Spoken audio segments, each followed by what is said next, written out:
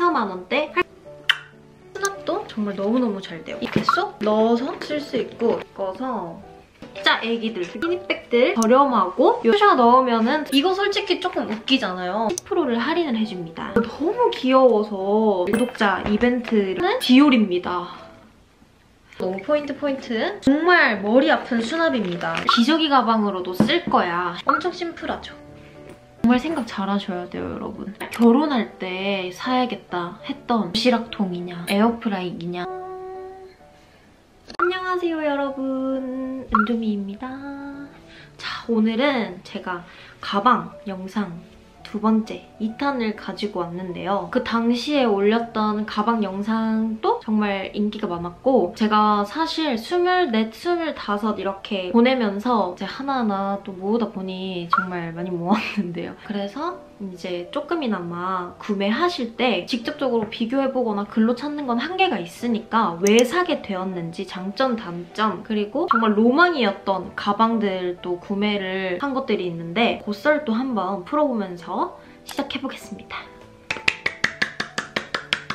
자 우선은 이렇게 자라부터 시작을 해볼게요. 얘네는 정말 가볍게 소개시켜 드리려고 챙겨왔는데 이런 정도의 컬러들은 무난하게 매주기 좋거든요. 그래서 이 두 제품들은 자라 제품입니다. 둘 다 3, 4만 원대 할 거예요. 특히나 이거는 이제 답답해 보이지 않게 좀 광택이 도는 그런 제품에다가 파스텔 톤의 보라 컬러예요. 그래서 이런 gray나 무난한 hoodie에도 잘 어울릴 것 같아 서 가지고 와봤습니다. 이렇게 그냥 shoulder 메주기 좋고 이런 끈이 또 너무 얇지 않고 이런 포인트도 있어서 굉장히 귀엽게 멜 수 있어요. 그리고 이거는 제가 자라 제품 중에서 가장 예뻐하는 제품이에요. 일단 저는 이런 식으로 hand랑 체인이 다 가능한 가방을 좋아하는데 절대 4, 5만 원대라고 믿기지 않을 그런 quality quality고요. 일단 수납. 수납도 정말 짱짱하게 잘 되고 아까 이 제품도 수납 도 지갑이라든지 쿠션, lip, 차키 이런 식으로 필요한 것들은 다 들어갈 만한 그런 느낌이고 얘는 이렇게 옆으로 맸을 때 너무 길지 않아요. 이렇게 너무 길지 않아서 포인트가 되기도 하고 이런 식으로 해줘도 좋아요. 그래서 이 제품은 컬러도 다양하더라고요. 이비니라고 제 친한 친구는 이거 hot pink색을 가지고 있던데 그것도 정말 포인트 되게 잘 들고 다니더라고요. 그래서 자라도 매장을 가는 것보다 온라인에 그런 가방들 많이 올라와 있으니까 한번 참고해보세요. 자, 그리고 이것도 봄 컬러 위주로 좀 챙겨본 제품인데요. 세이모 온도라는 브랜드입니다. 여기 보시면 안에 수납이 정말 가득가득 정말 잘 되는 편이고요. 얘를 이렇게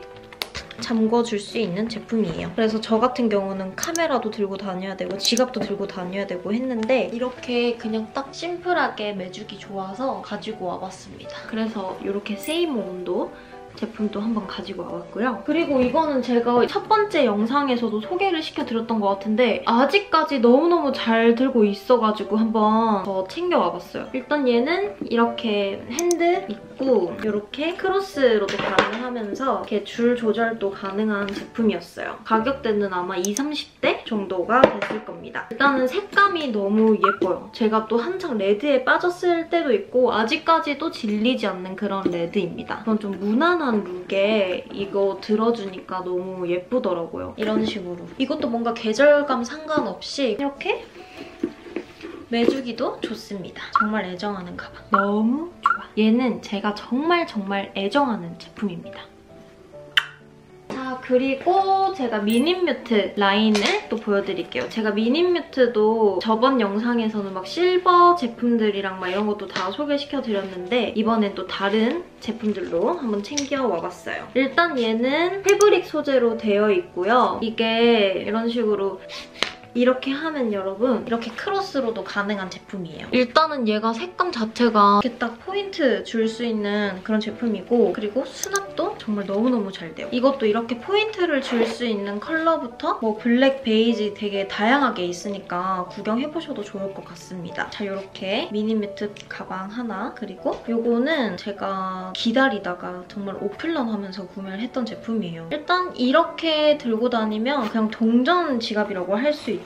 지금은 안에 제가 일본 갔을 때 썼던 지갑이어서 이렇게 동전들이 들어가 있는데요. 얘가 보면 일단 얘도 이렇게 광택이 도는 에나멜 느낌의 가죽으로 되어 있어요. 그래서 얘를 그냥 이렇게 지갑으로 쓸 때에는 그냥 이렇게 쏙 넣어서 쓸 수 있고 그리고 이렇게 체인을 추가를 해볼게요. 진짜 이렇게 딱 그냥 심플하게 메고 나가기 좋고 이렇게 딱 했을 때 이 부분이 굉장히 포인트가 돼서 좋은 것 같아요. 자, 그리고 제가 소개하는 김에 투 에투아라는 에코백을 또 보여드릴 건데요. 이거는 제가 파리 여행 가기 전에 이런 에코백이 너무너무 필요할 것 같아가지고 구매를 했어요. 이렇게 베이지 톤의 레드 스티치 포인트가 너무너무 마음에 들었고 일단은 이런 모양도 정말 마음에 들었던 제품입니다. 거기에 이렇게 포인트가 이렇게 가방이 있잖아요. 가방이 또 그리고 엄청 넉넉하죠. 안에 뭔가 넣을 수 있는 게 진짜 넉넉해요. 그래서 이런 노트북 있죠. 이런 노트북은 물론이고 정말 다양한 것들을 제가 넣고 다녔었는데 파리 갔을 때 이게 정말 좋았어요. 이렇게 묶어서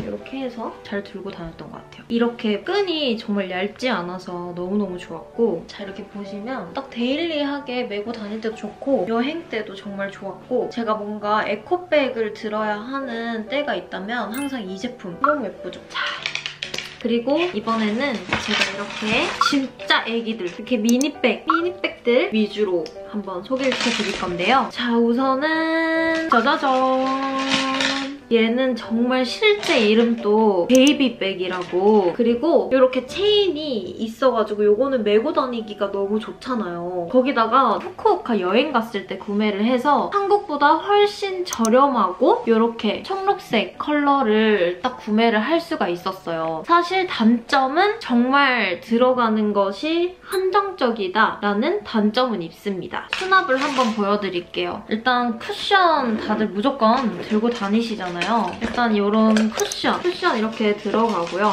lip도 두 개까지는 들어가는 것 같아요. 이렇게 넣고 이제 뭐 에어팟 같은 거 있으신 분들은 에어팟 들어가시고 가방에 차키 차키 까지는 쑤셔 넣으면 들어가는데 이런 부가적인 키링 절대 못 들어갑니다. 어쨌든 이게 이렇게 맸을 때 이렇게 은색의 체인이 예쁘고 여기도 이렇게 가죽 포인트가 있고요. 짜잔! 이런 식으로 저처럼 키가 작으신 분들은 큰 가방보다 이런 mini bag이 훨씬 더 코디할 때 포인트 주기 좋고 예쁘거든요. 이렇게 메종 마르지엘라 mini bag 추천드리고 싶어요. 자, 그리고 가방은 은 아니지 만 제가 최근에 지갑을 잃어버렸어요. 정말 어이없게도 정말 지갑을 잃어버렸는데 그러면서 구매를 했던 셀린느 반지갑입니다. 제가 그 전 지갑을 너무 미니한 사이즈를 사용을 했었어가지고 이번에는 좀 반지갑, 지폐가 들어갈 것, 동전이 들어갈 것에 초점을 뒀었어요. 그래서 작은 지갑이 필요할 때는 그냥 카드만 들고 다닐 수 있으니까 그래서 이렇게 카드 들어가고 동전 칸 따로 있고 지폐까지 들어가는 지갑으로 구매를 했어요. 그리고 짜자잔 너무 귀엽죠? 프라다 제품입니다. 얘는 에나멜보다는 그냥 좀 lambskin은 아닌데 그런 것 같은 가죽으로 이렇게 되어 있고요. 카드 지갑 같은 느낌이에요. 여기에 로고가 하나 있고 여기에 작은 수납칸 하나 그리고 여기 그냥 통으로 카드를 수납할 수 있는 체인 카드 지갑이라고 생각하시면 돼요. 그래서 얘는 이런 식으로 로고를 당기면 길이를 조절을 할 수가 있는데 이게 좀 포인트가 될 수 있는 제품 이에요. 그래서 그냥 이렇게 메고 앞으로 맸을 때는 그냥 이런 식으로인데 이거 솔직히 조금 웃기잖아요. 그래서 저는 얘를 최대한 밑으로 내리고 옆으로 매고 최대한 이렇게 올려서 포인트를 주고는 했었답니다. 이거는 프라다 청담에 있는 플래그십 스토어에서 구매를 했는데요. 이것도 살짝 꿀팁을 드리자면 다른 백화점이나 이런 데도 프라다가 입점이 되어 있는 곳이 많지만 플래그십에서는 10%를 할인을 해줍니다. 이것도 한번 참고를 해주세요. 이거는 제가 유럽 haul에서 보여드렸던 거라 그냥 이렇게 한번 더 보여드릴게요. 얘는 런던 샤넬에서 아무것도 못 건진 것 같아가지고 파리 넘어가는 그 런던 공항에서 구매를 했습니다. 이렇게 그냥 정말 이 체인이 없으면 그냥 반지갑 제품이고요. 핑크 컬러로 뭔가 포인트를 주기가 좋은 제품이에요. 립 같은 거 절대 못 들어가시고요. 그러니까 이렇게 딱 맸을 때 이렇게 보이는 그냥 핑크 체인이 너무 예쁘고 이렇게 볼이 있어요. 제가 봤을 때는 여러분 샤넬에 이렇게 볼 제품 있잖아요. 내가 봤을 때 얘네가 한 100만 원쯤 하는 것 같아요. 이 볼이. 얼마나 섬세한지 이런 쪽 조그만한 볼에도 샤넬 로고가 있고 여기도 샤넬, 여기도 샤넬 딱 그런 제품입니다. 그리고 짜잔! 이거는 그냥 참고 한번 하시라고 제가 보여드리는 건데 이거 너무 귀여워서 일단 체인이 너무 예뻐요. 일단 고급죠. 베이지에 실버 이렇게 조합으로 돼 있는 체인이고 얘가 트위드예요. 그리고 얘가 생각보다 수납이 많이 돼요. 일단 이 지갑도 들어가요. 쿠션 들어가고 틴트 들어가고 그리고 이 차키도 들어가거든요. 이 강아지까지 들어가요. 이렇게 하고 얘를 잠궈주면 조금 버겁기는 해도 이런 식으로 잘 들어가거든요. 제가 여러 가지 컬러 쟁여둔 게 많아가지고 이거는 구독자 이벤트를 하려고 가지고 왔어요. 그냥 아무 댓글 남겨주시면 은 랜덤으로 뽑아서 총 다섯 분께 이거 보내드릴게요, 여러분. 자, 그리고 보여드릴 거 디올 제품들 보여드릴게요. 이거는 저의 정말 로망이었던 제품입니다. 제가 이 오블리크 원단을 굉장히 좋아하고 이런 가죽 같은 느낌보다는 패브릭이어가지고 관리가 너무 쉽고요. 이 가방에는 굉장히 여러 가지의 포인트가 있습니다. 일단 가방 자체는 이 스트랩이랑은 별개로 되어 있어요. 이것도 따로 구매를 하셔야 하는 디올입니다.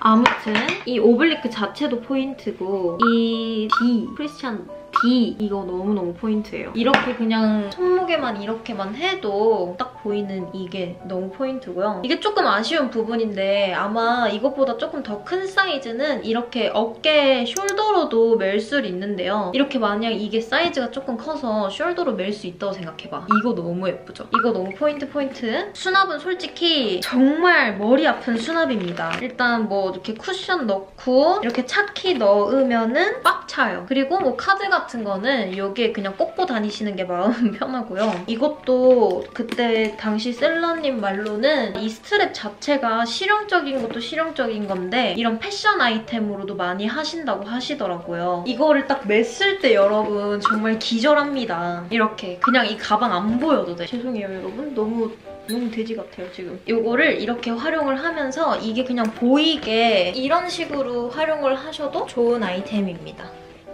그리고 이거는 제가 너무너무 애정하는 제품입니다. 이거는 제가 출장 한창 많이 다니고 노트북 같은 거 막 들고 다녀야 되고 이제 또 코디로 예쁘게 하고 싶어가지고 구매를 했던 디올 북토트 백입니다. 그리고 이거를 사면서 제가 했던 다짐이 난 이거 꼭 나중에 애기 낳았을 때 기저귀 가방으로도 쓸 거야 했던 그런 제품인데 다만 아쉬운 건 깔끔하고 좀 심플하면서 좀 고... 고급지게 코디를 할 때는 이 제품을 항상 맸는데 편안할 때는 항상 이 에코백을 찾았던 이유가 이게 굉장히 무거워요. 무거워가지고 좀 빠져요. 팔이. 그래서 그건 조금 감안을 하셔야 하고 이 차인 것 같아요. 이런 그냥 많이 들어가는 book tote냐 아니면 나는 많이 안 들고 다녀도 되니까 예쁜 그냥 이런 캐주얼 약간 이런 식으로 좀 나뉘고 잘 쓰고 있는 제품들입니다. 그리고 이거는 제가 진짜 이거는 내돈내산 하려고 했었는데 정말 감사하게도 선물을 보내주셔서 너무너무 잘 썼던 제품이에요. 아워 유니버스라는 브랜드 제품이고요. 유튜버 혜윤님이 만드신 걸로 알고 알고 있어요. 그래서 제가 이 브랜드 비닐을 너무너무 좋아했었거든요. 그리고 일단 이 실버 너무 귀엽지 않나요? 패딩 같은 소재에 정말 크지도 않고 너무 작지도 않은 백이어서 이거 보는 사람들 다 귀엽다고 했었어요. 그래서 여기도 보면 일단은 수납은 정말 그냥 걱정할 거 없이 내가 일상에서 필요한 거는 솔직히 다 들어간다고 생각하시면 되고요. 이런 느낌으로 같이 들고 다니실 수 있습니다. 엄청 심플하죠? 여러분 이제 대망의 샤넬들이 남았는데요. 가벼운 WOC부터 보여드릴게요. 짠! 이렇게 명품백 첫 입문으로도 추천을 드리는 그런 제품인데요. 이렇게 WOC가 저는 이렇게 검정 하나, 흰색 하나가 있는데 이 흰색은 정말 최근에 구매를 했던 제품이에요. 얘가 안에 열어보면 체인에 까멜리아가 달려있는 그런 제품이에요. 그때 처음에는 이 까멜리아가 마음에 들어가지고 이렇게 딱 맸을 때이 카멜리아가 이렇게 포인트 되는 게 너무 예쁘고 고급진 거예요. 근데 이거 정말 생각 잘 하셔야 돼요, 여러분. 정말 더러워집니다. 이거는 이런 lambskin 인 것 같기도 하고 굉장히 관리가 힘들어요. 샤넬 WOC는 이거 정말 그냥 기본 중에 또 기본이라 너무 추천하고 우리 힐링이들은 더 야무지게 샀으면 하는 방법인데 이거는 lambskin이잖아요. 이런 lambskin 말고 캐비어라고 조금 더 단단하고 사용하기가 쉬운 그런 소재가 있어요. 그래서 그거를 더 추천을 드리는 제품이고요. 수납 같은 거는 저는 정말 불편함 없이 사용을 하고 있는 게 얘 같은 경우는 이렇게 뭐 들어가고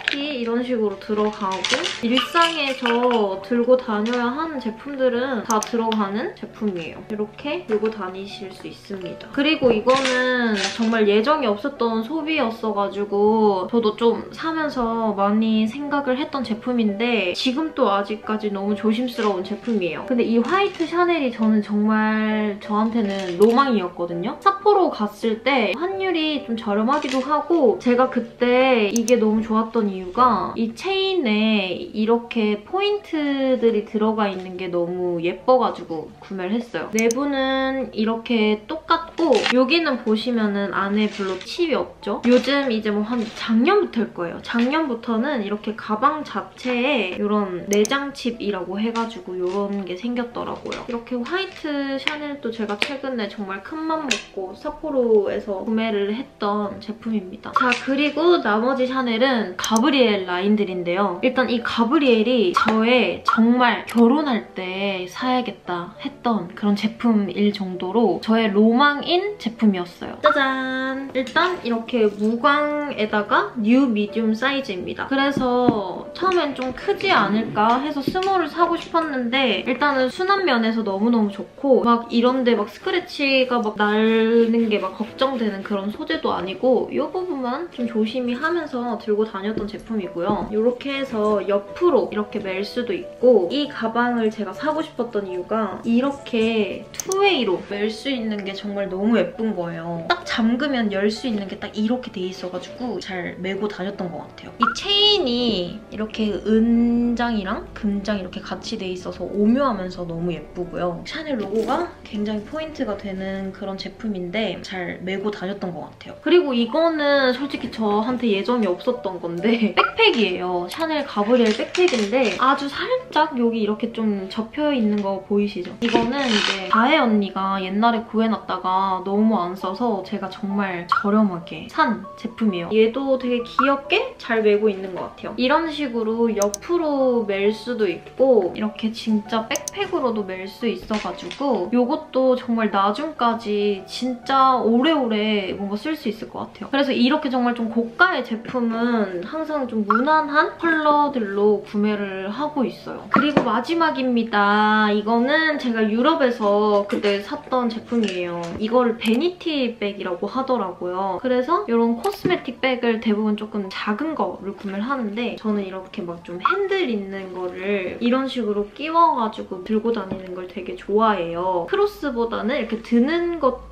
나름 좋아하는데 이거는 그렇게 너무 막 무거운 느낌의 디자인도 아니고 얘는 진짜 실용성 좋겠다. 뭐 많이 들어가고 여기저기 고급진 느낌도 나고 깔끔하게 매줄 수 있을 것 같다 해서 구매를 했어요. 여기에 수납 진짜 많이 돼요. 특히나 저는 이 핸들 부분에 있는 이 포인트도 정말 마음에 들었습니다. 이런 식으로 매고 제가 가장 잘 들고 다니는 방법은 이렇게 체인 앞쪽으로 한번 감아서 이런 식으로 들고 다니는 거 굉장히 좋아합니다. 이 가방의 또 비하인드가 이거 샀을 때 주위 사람들이 도시락통이냐, 에어컨 에어프라이기냐 이런 질문을 받았었던 가방입니다. 자 아무튼 여러분 제가 거의 한 2년 가까이 모아본 그런 가방들이고 또 다음 가방 소개는 2, 3년 뒤쯤을 예상을 하면서 또 궁금한 그런 가방이 있으신 분들은 댓글 남겨주시면 제가 또 구매를 해서 써보고 후기도 해드리고 나눔을 또 할 수 있으면 또 할 수 있는 그런 영상을 만들어 보겠습니다 여러분. 오늘도 시청해주셔서 너무너무 감사합니다. 안녕